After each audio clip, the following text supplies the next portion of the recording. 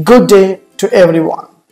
Today I would like to show you how to create online quiz using Google Form and how to generate e-certificate. What is the e-certificate? E-certificate is an electronic certificate. Once the students complete their quiz, we can generate the e-certificate. Just log in your Gmail account. On your right hand side, you will have Google Apps. Click the Forms. It will direct into you Google Forms. Hit the blank. It will ask you title of the form. So you need to give the title online quiz and fill the description.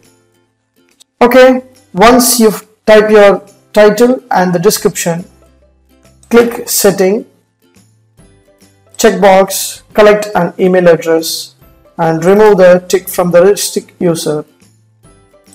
Click the checkbox limit to one response. This is a general setting and click the presentation setting, select show progress bar and give the confirmation message.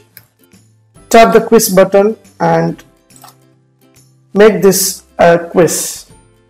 Click save. The email address automatically added if you are sending the quiz to your participant the participant need to type the email address and we need to get the basic information from the participant.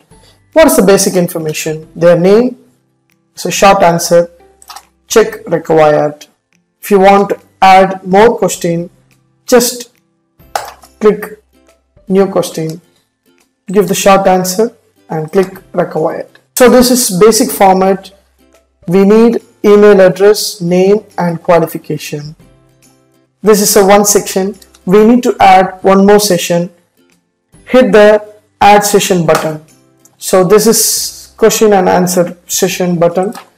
Type let's start and create the question here.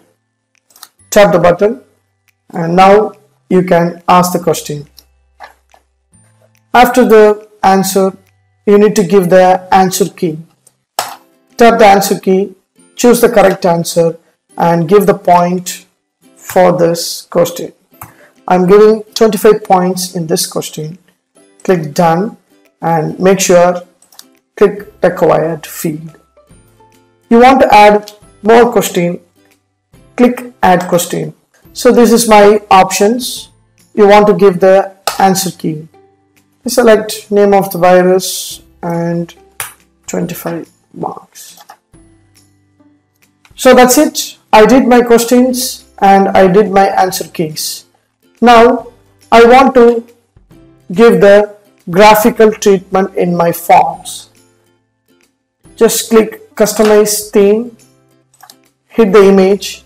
Whatever image you want you can choose. Click insert. So automatically your form will generate with the graphical treatment. If you want to see the preview, you can click and see the preview. Now I'm going to show you how to generate the e-certificate. In your right hand side corner, there is a three dots. Just click the three dots and click add-ons. It will direct you G Suite Marketplace. Just type certify EM just click certify em click individual install click continue so it will ask you your email address and it will ask you allow so certify em has been installed click done so your certified em is installed once the certified EM is installed means you will get the add-ons option here in your form. Just hit the add-ons and click certify EM. It will ask you different kind of question. Click show certify EM control. Once you click automatically it will show you the right to side panel.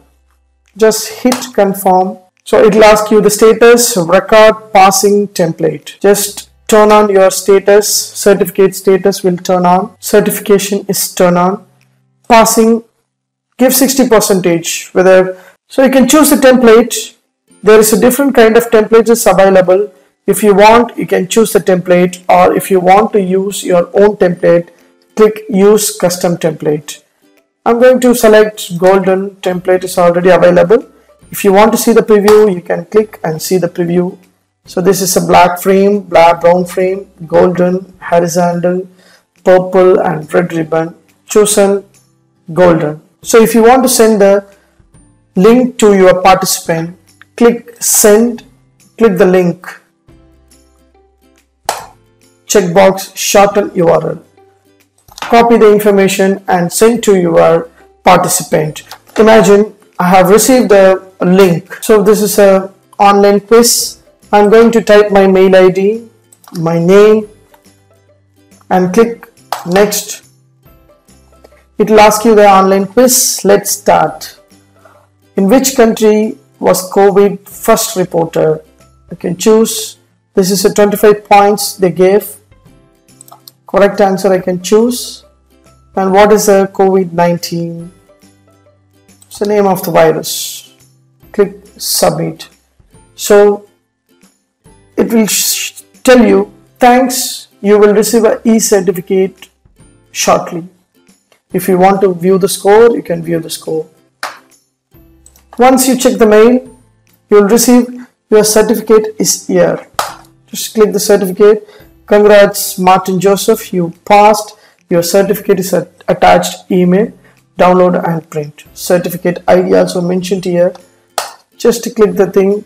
So this certificate declared Martin Joseph student has been complete online quiz on date and percentage and certificate number is available.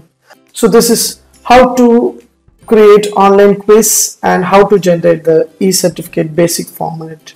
Thank you. Have a good day.